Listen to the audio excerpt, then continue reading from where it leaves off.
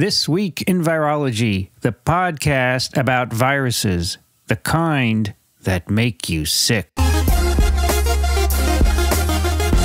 From Microbe TV, this is TWIV, This Week in Virology, episode number 800, recorded on September 2nd, 2021.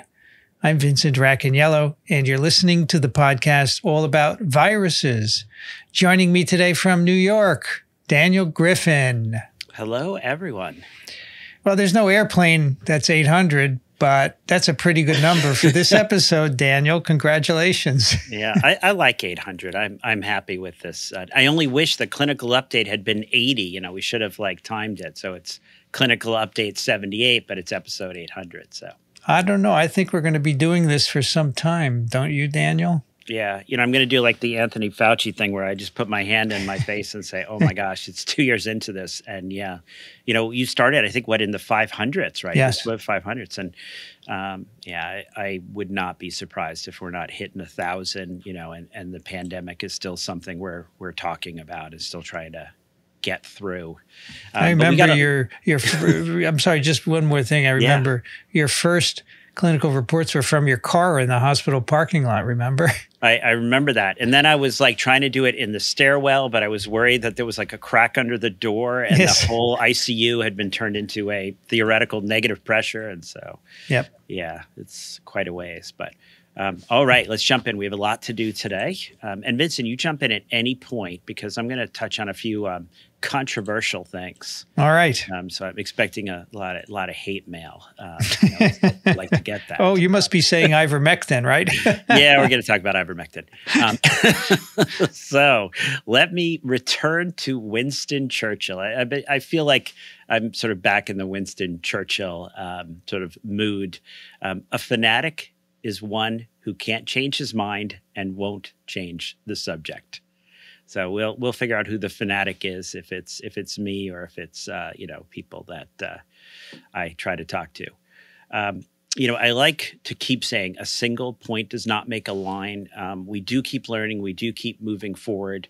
Um, so I think people can take a deep breath. You're, you're, still, you're not going to wake up tomorrow and find out that you know everything we've thought to date is completely wrong.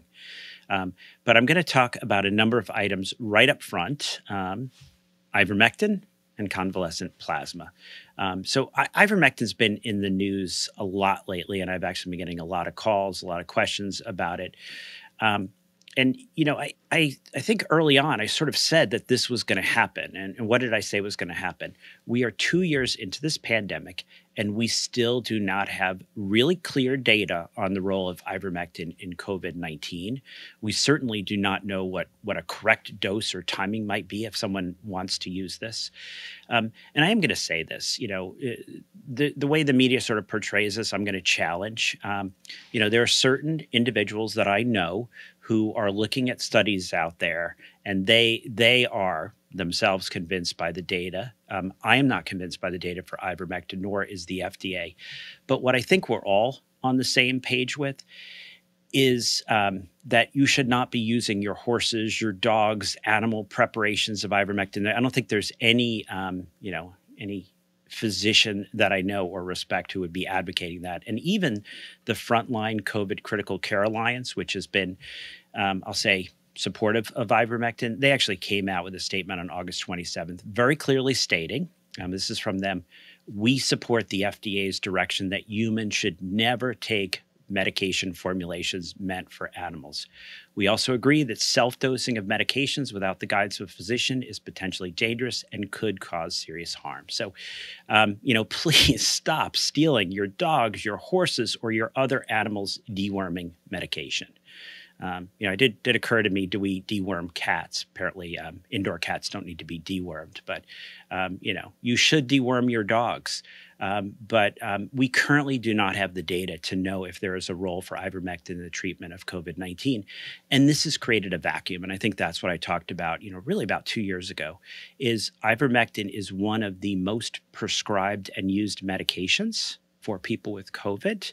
Um, and until we really get clear data, that's going to continue. Just, you know, physicians have the ability to use medications off label. People, as we're seeing, have the ability to get stuff that they feel that social media is supporting. Um, there are a number of large trials trying to address this question, right?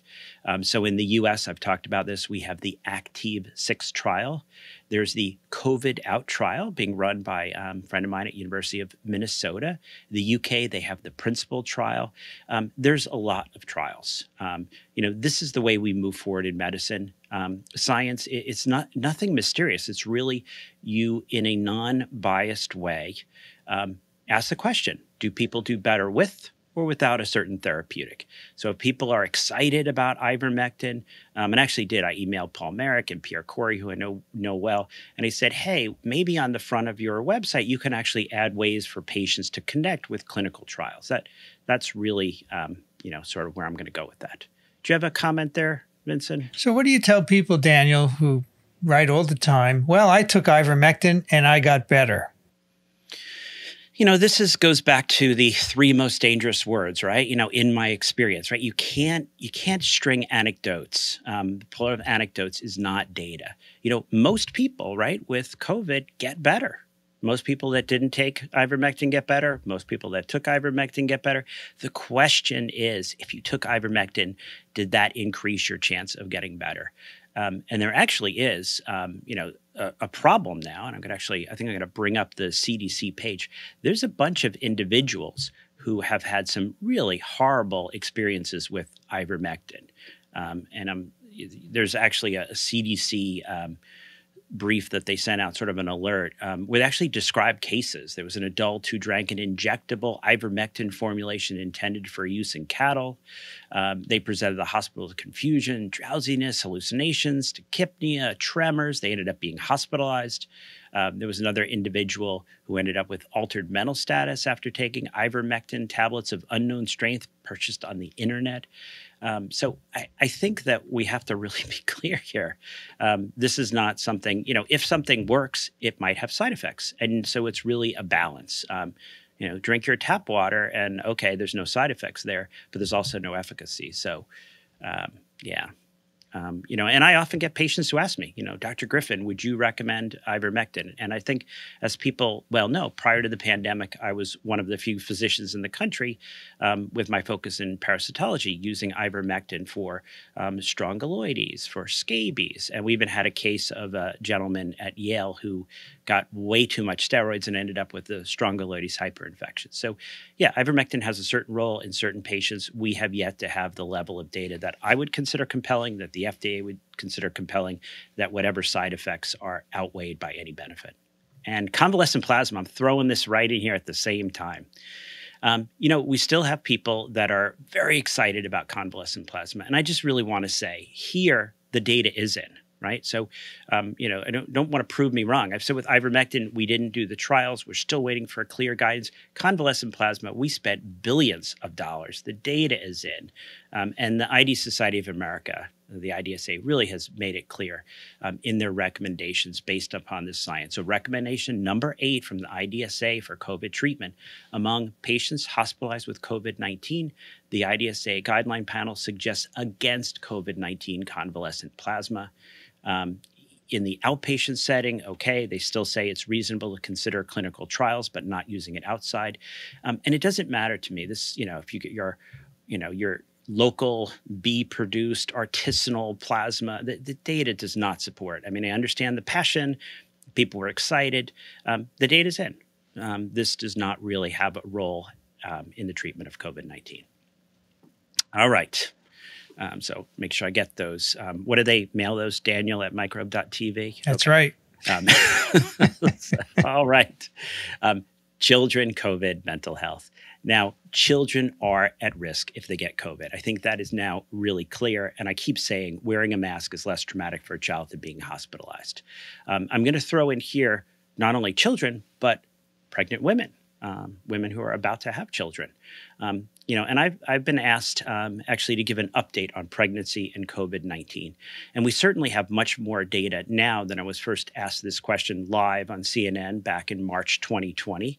When they prepped me, I would be talking about the president and testing. And then, boom, Dr. Griffin, tell us about pregnant women and COVID. And so that seems a little bit different than what we were going to discuss. But anyway, the article characteristics. Oh, I was wearing the same bow tie. So just to bring everyone back to that day, I'll mess with it.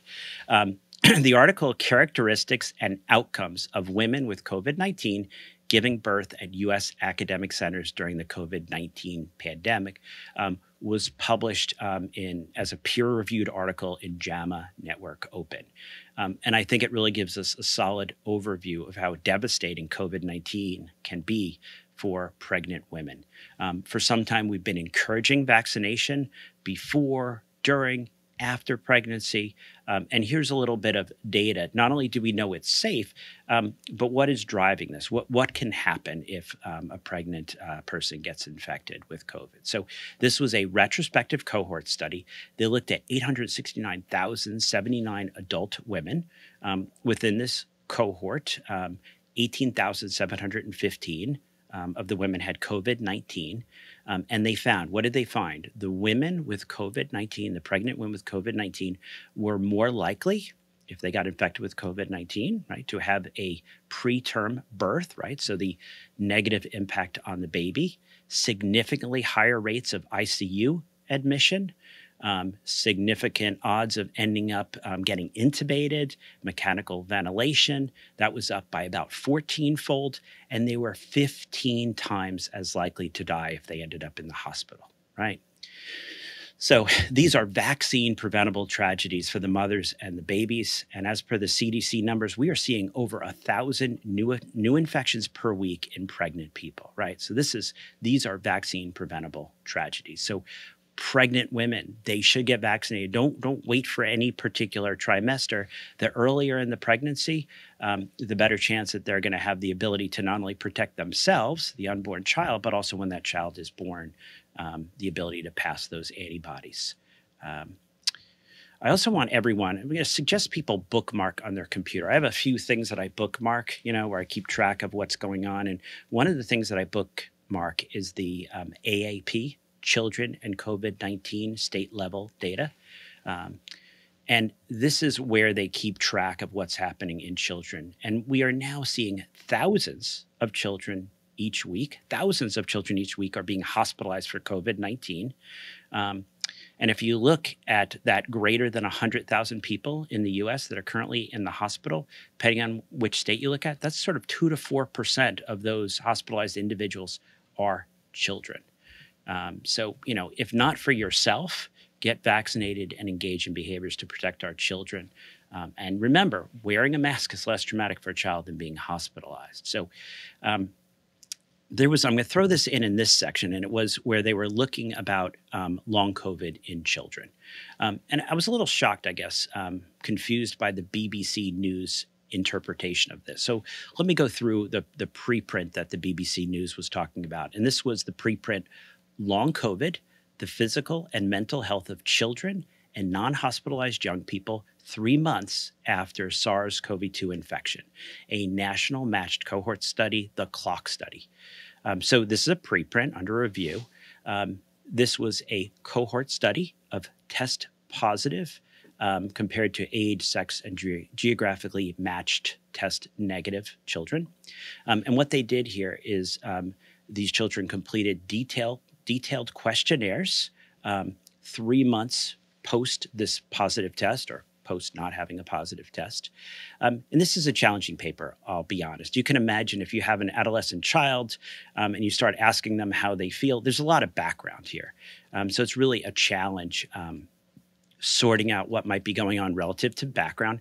There's also the challenge here that there's no universally agreed upon definition of long COVID. Um, and I, I like to say long COVID is really a subset of post-acute sequelae of COVID. Of COVID, it's sort of a um, a chronic syndrome um, where PASC includes things like new diagnosis of diabetes, um, new diagnosis of stroke, other things in there. Um, and it really was um, one of the tables that I wanted to go through. Um, so if you go through this study, and I'm going to encourage people to go ahead and um, uh, spend some time. Hopefully, we'll post this. Um, but they have a really nice table, table three. Um, and here you can look at the different issues. And I did not find this reassuring. So they asked a number of questions. So, one of the big things we see in um, long COVID in all ages is this just incredible amount of fatigue. In the negative, that was 3.3. three months out, it was still 22.7% of the children reporting that. Shortness of breath, 1.5 up to 11.6. Um, 20% of them still couldn't smell, and that was rare. There was only about 1.5% in the negative group. Um, headaches, right? 4.8% background. This was 26.3% at three months after um, acute COVID in these children. Um, unusually strong muscle pains, right? A lot of people have these muscle pains. That was about 1% background. It was 11% um, in these children at three months. So I, I was not reassured when the BBC said, oh, it, it's much lower than that 80% we were fearing. Um, I was quite um, concerned when I'm seeing uh, such high prevalence three months out of symptoms in these children. So, um, just to repeat, COVID is a problem um, in children. They may not die of COVID. Um, they may be at lower risk of ending up in the hospital than adults, maybe in the one or 2% of them. Um, but boy, this is a large chunk of kids three months out still suffering. Transmission, testing, never miss an opportunity to test. Um, here, there's a bunch of things I feel like I'm saying over and over again. Um, there was a preprint here. Actually, it wasn't a preprint. It was published in the MMWR. Um, you know, as much as people criticize the CDC, you'll find out I discuss a lot of MMWR papers. So um, kudos to the people at the CDC who keep getting this information out there. And this I thought was very interesting. It's sort of one of several publications along this line um, that I saw this last week. And this was outbreak associated with SARS CoV 2 B1617.2, the Delta variant, in an elementary school, Marin County, California. Um, and one of the things I really liked about this was they showed a seeding map, right? Um, and this is where we have an, an unvaccinated, symptomatic, infected teacher who does what I see all the time, right? When someone wants to talk, when they want to generate all those droplets and aerosols, they pull off the mask, right? She wants to read to the children. Um, and so she was unmasked, reading aloud to the class. The majority of the kids got infected. Um, everyone in the front row, most of the kids in the second row. Um, you, know, you really wanted to be in the back. Um, so. Um, really, really tough um, when we talk about you know masking and vaccination in these settings.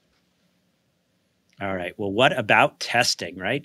Um, think of, I, I, feel like I go through this talk every time and I do it every week. Every week on Wednesdays, I do like a COVID clinical update for all our urgent care centers in the tri state area. And, about 250, 300 providers tune in to these. Um, and, you know, it's still shocking to me that this far into the pandemic, there's still so much misinformation about testing. Um, now, I will say that Pro New York, Riverside, Caremount, ProHealth Connecticut, all these parts of Optum Tri State have really invested heavily in creating access to COVID 19 tests. And each week, um, a chunk of my week is spent um, addressing questions. Um, and one of the biggest challenges is understanding what's the best test um, and whether or not there are certain situations when you may do more than one test. So the research letter, validation of an at home, remember, at home direct antigen rapid test for COVID 19 was published in JAMA Network Open. Um, and I know it's been quite a while since we first sort of looked at this idea um, of people having the ability to test themselves at home with um, rapid tests. So this study, I think, really builds on things that we keep talking about. Um, this idea that we talked about last week that the peak of contagiousness um, and perhaps the majority of all transmission from infected individual occurs in the two days prior and the three days following the onset of symptoms, right? So during that period of time when there's a very high level of viral RNA load, when there's a very high level of antigen. So here the investigators followed 257 individuals self collecting nasal swab specimens twice weekly at home during a six month period.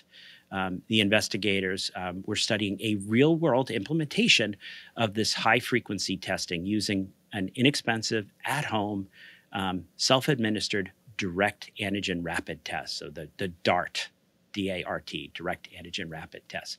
And they were then using um, RT PCR as um, a comparison. Um, now, remember, these are individuals, these are not medical experts. These are just people taking swabs and sticking them up their noses. Um, the individuals self collected these during this six month period. The DART sensitivity for that zero to three days was 96.3%, right? I know a lot of people keep talking about antigens being low sensitivity tests. If you're looking for someone who is infectious, who is capable of transmission, 96.3% is not low sensitivity in my book. Um, even if you really stretch this out to 0 to 12 um, days after symptom onset, when we're really starting to get past the point, there still were 78.9% um, sensitive. So sort of want to even challenge this concept that antigen tests have an issue with um, sensitivity. They actually have great sensitivity if the question is is this person acutely infected and potentially contagious? Um, so this does feed into that you know that experience that um, don't think the plural of anecdotes is data because you will when a person comes in if you do this test, you're going to pick up most people who are contagious right away within 15 minutes. You're going to be able to pull them out of circulation before transmission. Um, but there will be a certain number of people who you're catching either prior to becoming um, contagious or you're catching after that. Um, and I will certainly say when we're in the hospital, we're looking for a higher sensitivity test because we're really asking the question did you get infected, you know, a week or two ago? Because we're usually um, seeing them when they're showing up during that early inflammatory phase. So, one of the things that I say is don't miss an opportunity to test, but I guess I'm going to say don't miss an opportunity to rapidly get an answer and intervene. If you want to throw a PCR in as a second test, you know, that's going to make sense in certain situations. And also, a test does not predict the future, right? So, you get exposed on Saturday, you have a negative test on Sunday. I would expect that you're not going to really start turning positive until about four days later.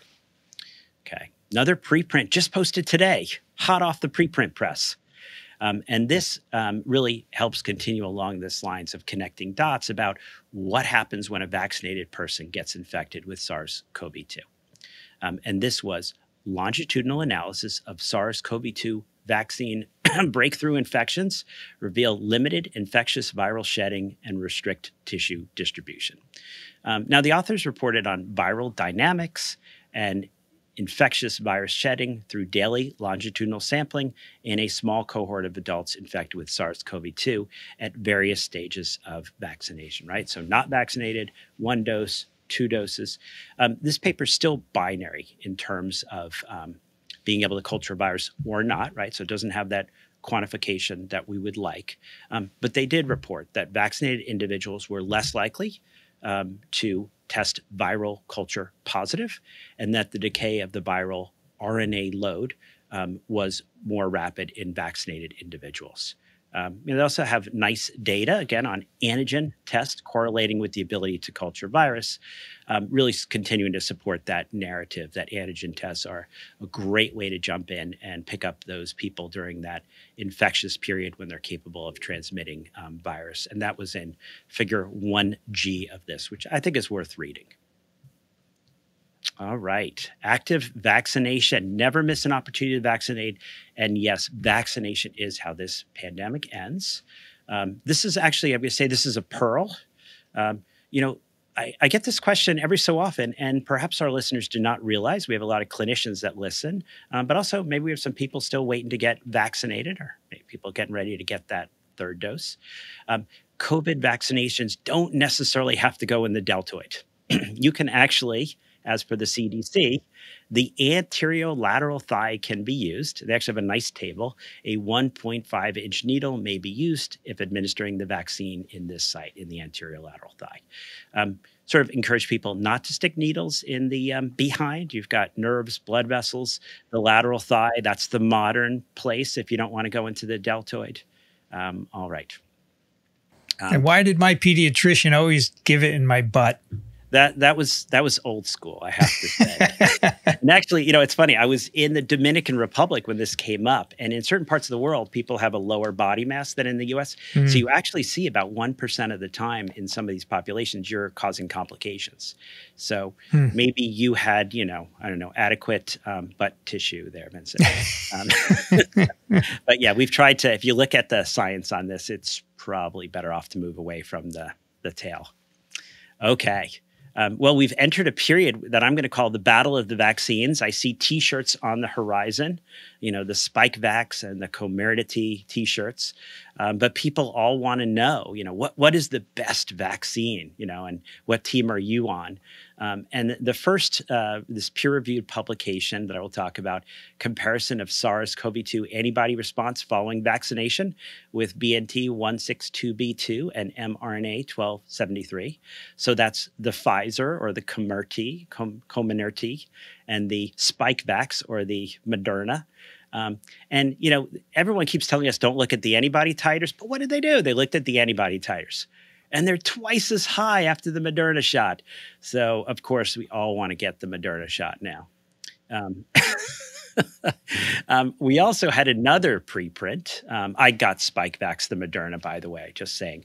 Um, comparison of two highly effective mRNA vaccines for COVID 19 during periods of alpha and delta variant prevalence. Um, and here they're actually reporting on what they say is effectiveness. Now, what does that mean? Um, of the mRNA vaccines. So, what they say here, they look at um, data from the Mayo Clinic Health System, um, this period January to July of 2021. Um, we had different variants, um, you know, alpha and then delta variant. Um, so, first, the reassuring data, right? Both vaccines continue to be highly effective during this period against SARS CoV 2 associated hospitalizations. We're looking at 91.6%, we're looking at 85%. Even when you go into July, right, still 81%, still 75%. But then they throw in the new superpower comparison vaccine effectiveness against infection. And here they say 76% for the Moderna Spikevax and only 42% for the Comirnaty Pfizer folks. Um, and then they go ahead and, of course, just to you know make it worse, this is a twofold risk reduction against quote unquote breakthrough infection. Um, they speculate on mRNA content. Um, and Vincent, do you have any comments about this? Why do we care about infection? Don't we care just about disease, and in particular, serious disease? You know that's an interesting question and i'm gonna the one thing i will say right and i and i think in general this is a new thing we're asking vaccines to do we're asking about and we're going to get to a study where we look at what if you're vaccinated and you get an infection you don't end up in the hospital what about your risk of long covid? Do people who are vaccinated get long covid? So that i'm going to hold on to that thought because I'm going to okay. talk a little bit about because that that is going to potentially raise an issue because that is disease, right? Long COVID is disease, and are the vaccines protecting against that? Um, all right, so passive vaccination, right? Um, we have a developing story here, right? So passive vaccination is ideally getting something a monoclonal, an antibody as prophylaxis. So we we got the um, the Provent phase three prophylaxis trial results. They met their primary endpoint. The data was announced. So this was a trial that included 5,197 participants in a two to one randomization to receive this AZD 7442 two monoclonal cocktail or placebo. Um, this is still at the press release stage. Um, they do report that you know most of these individuals had comorbidities, right? So putting them at higher risk. Um, and then they report that this combination reduced the risk of developing symptomatic COVID 19 by 77% compared to placebo. No cases of severe COVID 19 um, or COVID 19 related deaths in those treated. Um, in the placebo arm, there were three cases of severe COVID 19, there were two deaths. Um, so I keep keep pushing on, and this I've actually seen a, a, number of emails, number of alerts from the Catholic Health System, which I really applaud. Um, so um, if my buddies over there are listening, um, it's been ordered, added as an order set. We send folks over. You're a high risk individual. You've had an exposure. Um, we get these individuals monoclonals prophylactically. Um, Regeneron actually has EUA expansion for this, but unfortunately, right, only about a third of eligible patients are getting this highly effective therapy. If someone is um, vaccinated, it doesn't matter. If someone is pregnant, actually, as I think we've discussed, that puts them in a high risk category and they would be eligible for this as well. Okay. Um, now, the period of viral replication, what I like to say, the time for monitoring in monoclonals, not the time for antibiotics. Um, And I've talked previously, and I hit on this early on the Active 6 trial, which is a COVID 19 study of repurposed drugs. And uh, David Fajgenbaum was on TWIV 766 talking a little bit about this whole concept of trying to find stuff on the shelf that might um, be potentially helpful. Um, this trial is going to investigate ivermectin, inhaled fluticasone, and fluvoxamine. So, what, what is fluvoxamine, right? We've all heard about ivermectin lot about ivermectin. We've all heard about steroids like dexamethasone. Here is an inhaled formulation. But what is fluvoxamine? Now, fluvoxamine is a, I'm going to say a Prozac like drug.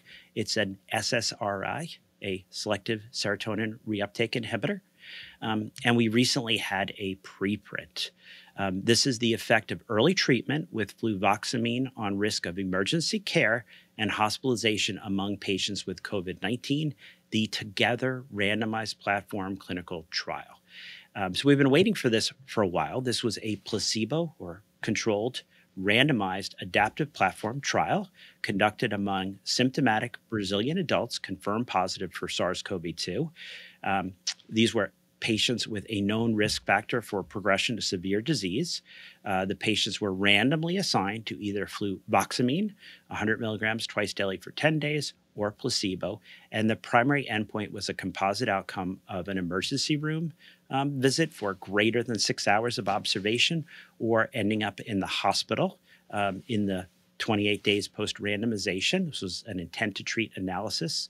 Um, now, a total of 3,238 patients were allocated. Um, we ended up with um, 739 getting fluvoxamine. We ended up with 733 in the placebo group. There actually were other treatments, and there was an N of 1766 for those. Um, what did they find?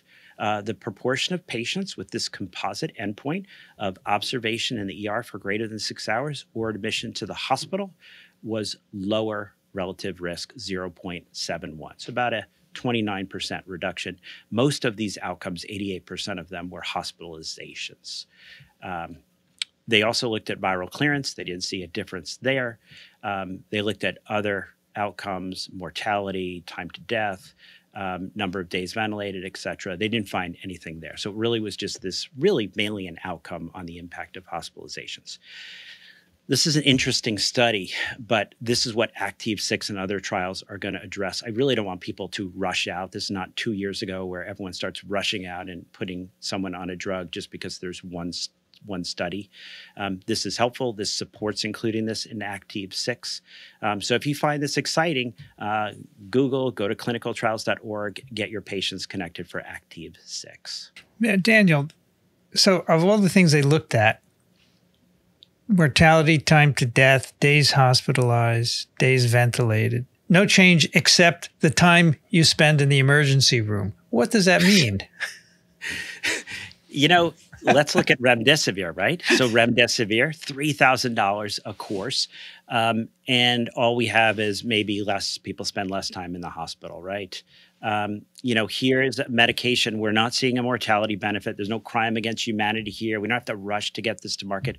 Maybe less people end up in the hospital. It is a psychiatric uh, drug, so maybe they feel a little bit better. I don't feel like they need to go to the hospital. Made me think of digoxin, um, which apparently, if you give people digoxin, they're less likely to go to the hospital. But um, yeah. Okay. So yeah. okay. All right. So we're going to jump to tail the tail phase, long COVID, post COVID, um, we had the article one year outcomes in hospital survivors with COVID 19, a longitudinal cohort study. This was published in The Lancet. Uh, this was an ambidirectional study, meaning it's both retrospective and prospective phases of the study. Um, COVID 19 survivors who were discharged from um, this particular hospital in Wuhan, China, um, between January 7th and May 29th of 2020. Um, and we have um, six month and 12 month follow up visit um, questionnaires looking at symptoms, health related quality of life questions. Uh, these individuals also had a physical examination, a six minute walking test, and laboratory tests as well. Um, what they reported that the proportion of patients with at least one sequelae symptom was 68% at six months and 49% at 12 months. Fatigue, muscle weakness were the most common symptoms. Um, you know, maybe this is why they said in kids that it's better than this. Um, so by comparison, maybe that's what they were after. Um, but I have to say, um, long COVID is continuing to be a tragedy. We do a lot of, um, I'll say, consulting with companies who are trying to figure out um, employees that developed acute COVID who now cannot end up um, back at their pre COVID employment. It's about 10 or 12% at these large companies that are use UHC as their insurance um, this this is tough, right? Um, you know, even if you could cut that in half, you'd still be five or six percent severely affected enough that they can't return to work. Um, one of the things they did comment, and I think this is consistent with what we've seen before, what's predictive of people who end up with long COVID, which I suggest is a subset of PASC, um, higher risk for women. Um, risk for people who received steroids or had more severe disease. The, those two may be a little bit intertwined, right? If you have more severe disease, you may meet criteria for steroids. Um, now, we have, I'm going to say this is positive news, but then you can tell me if it's positive news because this gets back to this issue of do we need to infect, do we need to prevent more than hospitalizations and deaths? Do we care about infection? And so this was the paper risk factors and disease profile of post vaccination SARS CoV 2 infection in UK users of the COVID 19 symptom study app, a prospective, community based, nested case control study. Um, so, actually, just COVID, not COVID 19. I think we're starting to drop COVID 19. It's sort of the only COVID out there. Um, this was a prospective, community based, nested case control study, right? So, they've got a big cohort and they're looking within that. Um, this was self reported data um, from this UK based um, database cohort.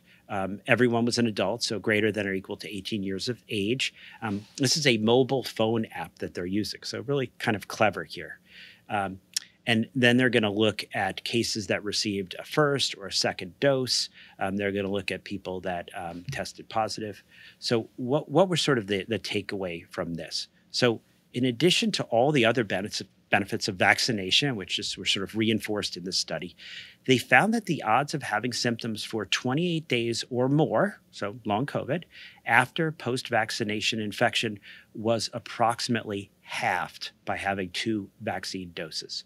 Um, so, this result suggests that the risk of long COVID is reduced in individuals who have received double vaccination. Um, this is sort of a little bit of an issue, and I think gets back to that um, original. I was saying that from our large cohorts, maybe 10 or 12 percent of individuals have such severe long COVID they can't return to work. Um, it's going to be really interesting to tease out how severe is this long COVID, because half of 10 or 12 percent, half of those large numbers, if we still have five or six percent of people who get COVID with long COVID, um, preventing them from going to work if you take some of those other numbers that we talked about, 68% having a symptom at six months, you drop that to 34. These are still big numbers. So this does raise the question um, of considering long COVID as disease. So maybe that gets at my like, do we want to protect want to protect them against infection completely? Um, I think that what we're really what I'm really trying to say here is I think long COVID falls under the disease and one of the things we want to prevent. The problem, uh, Daniel, is that this is different from every other vaccine because there's no long measles, there's no long polio, right? And so if if this is true, and I think we need to know more about what variants were circulating and so forth, uh, that could be an issue. I agree. Yeah. No. Excellent point. Excellent point. All right. Um, so I always like to touch on the world situation, right? Um, no one is safe until everyone is safe. Um, and I think on an upcoming episode, I'm going to probably spend a little time talking about the global vaccine initiative, discussing Gavi and COVAX. Um, also, potentially give our listeners a little bit of insight into how they might contribute and be part of that effort. Um, but along those lines, um, reminders to all our listeners throughout the months of August, September, October. Donations made to PWB are going to support floating doctors. And let me uh, share an email I just recently got from Jolie LaBrot of Floating Doctors, uh, just letting folks know what's going on down there. The team in Panama is faring well and is accepting volunteers to begin seeing more patients for primary care. Thankfully, cases in Panama, including Bocas, are on the decline, though, as in the US, misinformation spreads as quickly as the virus itself. Right now, Bocas is getting doses in waves, these are the vaccine doses. through the 5th, they will be offering the vaccine in Bocas Town and on three neighboring islands. The more remote communities have yet to receive the vaccine, though some of the communities on the mainland closer to cities have been able to access them. Floating Doctors is currently working hard to educate people about the vaccine and are coordinating with the local ministries of health to assist in distribution when they become available. So go to parasites.border, parasiteswithoutborders.com, donate so we can help support this effort. Daniel, let me go back very briefly to the long COVID. Is it possible yeah. that since we don't really know how long long COVID is, maybe people who are vaccinated, even though 50% may still get it, maybe it's shorter than non vaccinated long COVID? Yeah, there's a couple things that this study, well, there's there's several things that this study um, doesn't tell us, and I think it's great that we're bouncing back to this. Um, you know, this is a, you know, people using a phone app, right? So there's going to be a little bit of selection bias. If you're done with COVID and moving on with your life, this may, there may be a reporting bias. You're more likely to jump on. So that the number may be, um, may yeah. be different. Um, the severity may be different. Um, and also, this is this is really a short follow up, right? This is 28 days. You're yeah. barely there in my mind. I always say that 28 days is sort of the early.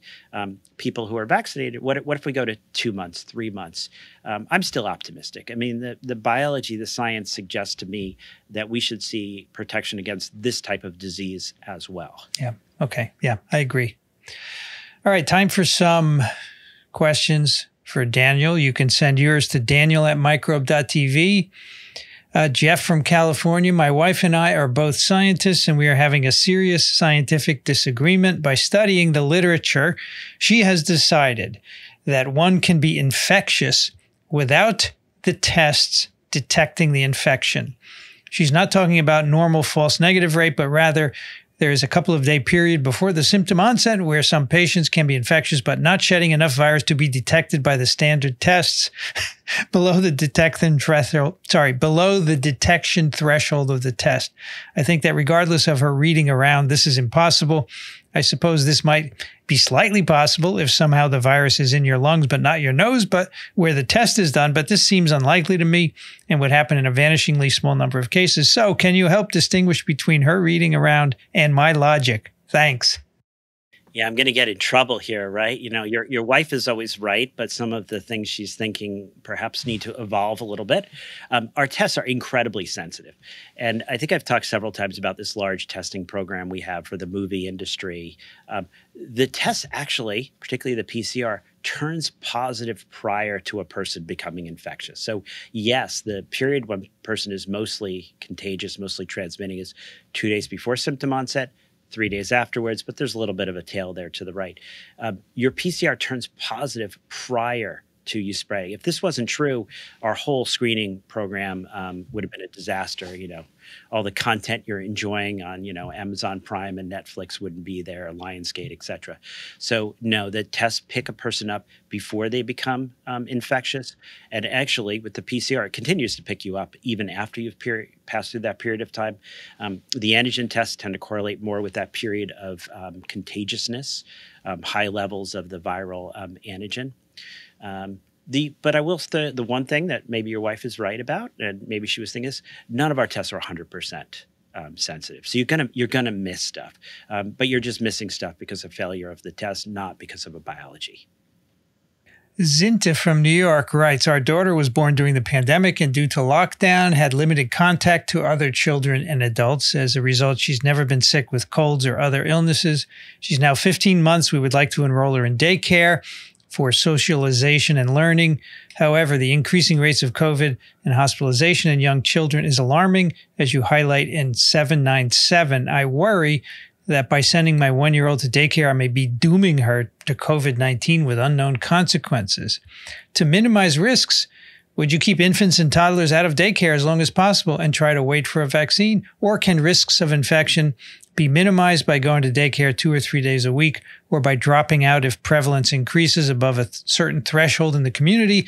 Or is hospitalization still so rare in toddlers and infants that we really should not worry about COVID and focus on the benefits of socialization at this young age? Okay, so there's a lot, lot in there to unpack, but I'm going to focus on, I think, the main overriding thing is that we've been talking about for a while. We have uh, presented several studies on this. Is that you can safely get children in schools. You can safely actually get children under the age of six in these child care settings. Um, there are certain recommended mitigation strategies to make that safe. I think there was actually a recent study where like children in school like had one third the rate of infection as opposed to the community, right? So if you look at some of these mitigation strategies, um, vaccinating the staff um, that's huge, right? That's going to reduce their chance of getting infected. And I think we have a growing body of evidence, their chance of spreading it to others.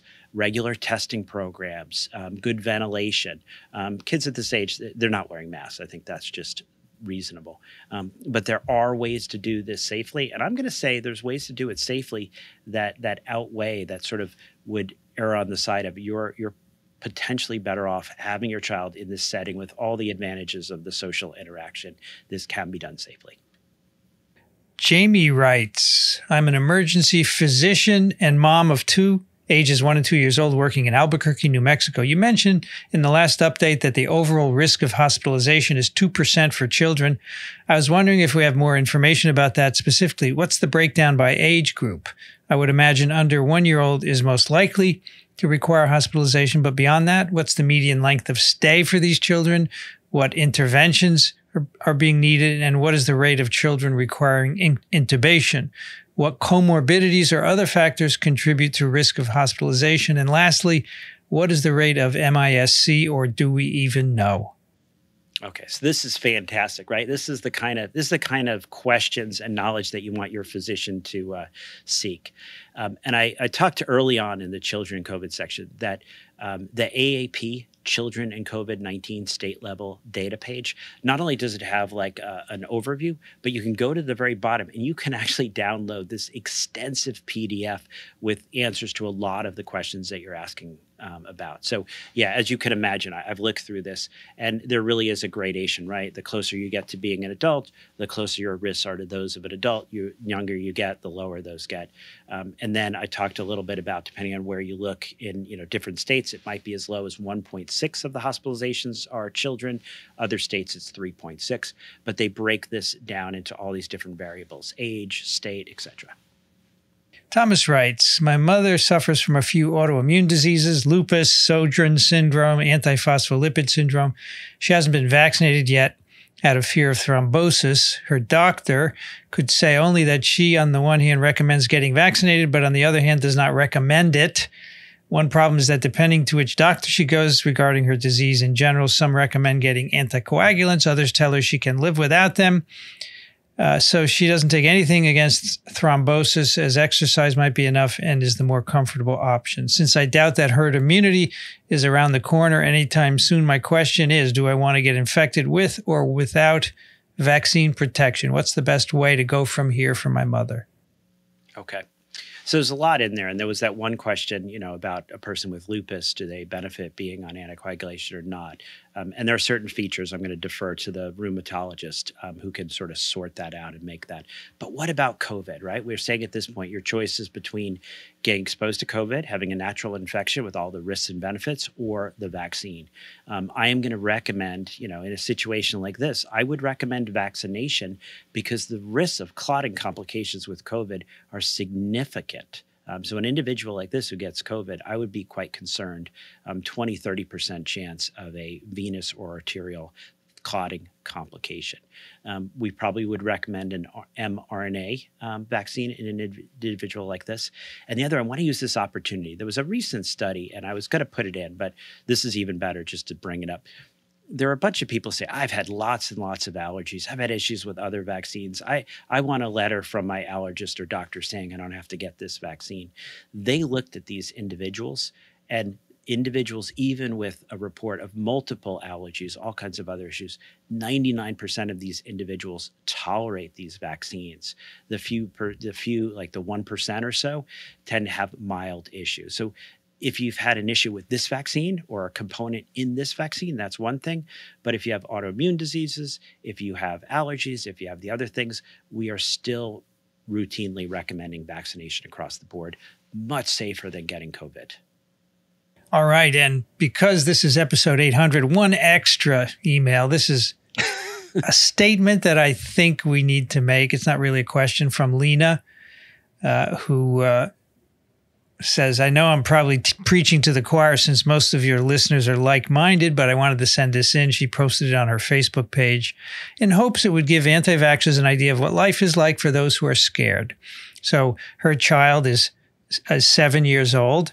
He has made it to age seven only through the help of many doctors, medicines, and the alert and aware adults in his life. He's medically fragile. He doesn't look it, but he is one of millions with an invisible illness. He's been in the hospital multiple times, takes multiple medications every day. He's at high risk. He's why we're continuing to stay home, mask up, get vaccinated, and only allow vaccinated individuals to visit. If you think a vaccine is traumatic, imagine watching your child struggle to breathe, gray skinned, and blue lipped. If you think wearing a mask is too much, imagine wearing, watching doctors and nurses pump your child full of medicines to help him breathe. If you think staying home is hard, imagine a doctor telling you that they're going to try one more thing, but if it doesn't work, they're going to have to in- intubate your child to give him a break from working so hard to breathe. If you think a cold is no big deal, imagine lying behind your child in a hospital bed, watching the number on the oxygen monitor, praying it stays above 90 so it doesn't beep and summon the nurse again so you can get five minutes of sleep. Imagine that, then imagine it again and again. That's only a fraction of what we've endured as a family. Those things are traumatic. They're too much. They're hard. They're a big deal. Those things are why we keep him safe He's not disposable. He's not a burden. He's very much loved by everyone. He brings joy to our lives. He deserves to be protected. Protect him and the millions of people who suffer from invisible illnesses. Happy birthday, JJ. Thank you for teaching us so much. Wow. It's a very, very powerful um, email. Um, and yeah, I, I, you know, I wish that all the people, you know, but I, I, was, I was talking to my wife today, right? The polls have gotten to the point where it's down to only about 20% of people are saying they, they would refuse to get vaccinated. And we think half of those people may have already been vaccinated. They just don't want to lose membership in the tribe. So this, this, this vaccine hesitant or anti-vax population, it's, it's really shrinking. Um, they're very loud, they're very vocal. Um, but I think a lot of people realize that a lot of people are coming. This isn't just about you. We live in a community, right? This is like having a protest, you know, advocating for drunk driving or something. You know, if you get COVID and you transmit it, you could kill someone else, um, and you could end up. We're seeing thousands of kids end up in the hospital each week the majority of those children were infected by someone who's unvaccinated. So that's on the unvaccinated. Don't just think about yourself. I think our listeners are um, on board with this. I also think it's a good response to people say, oh, it's traumatic for kids to wear face masks in school. As you have said, Daniel, far more traumatic to be in the hospital. Yeah. Yeah. That's COVID 19 clinical update number 78 with Dr. Daniel Griffin. Thank you, Daniel. Oh, thank you. And everyone, including you, Vincent, be safe.